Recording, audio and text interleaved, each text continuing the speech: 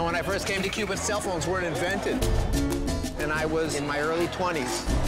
And I've been coming back for five decades. Making friends with everybody. Trying to tell the story of Cuba. In the early 70s, there was a revolution going on. So we took our cameras down to Cuba. Equipment's so heavy, we had to put it in a baby carriage. All of a sudden, we noticed Fidel began watching us, and because of his curiosity, we wound up with our first interview. Yeah, here we go.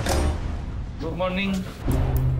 Fidel was 53 when we flew to New York together, and he always remembered me, and he was always excited to see me. Ah, viniste, ¿no? What would you do if you were mayor of New York City, Fidel? Era renunciar. The first thing I would do was to resign. There's all this stuff going on in Cuba. When I filmed here in 1975, all these shelves were full. What's happening to Cuba? Uh-oh. Is everything okay? We've got food here. I learned many things with you, and I'll see you next time I come back to Cuba, okay? Okay. Because so much has changed in the past two years. Selfies, they never had selfies. I'm back to see my friends one more time. Will there? John. I'm John. This is to our happy reunion after 16 years. Nice to see you, Fidel. You look great.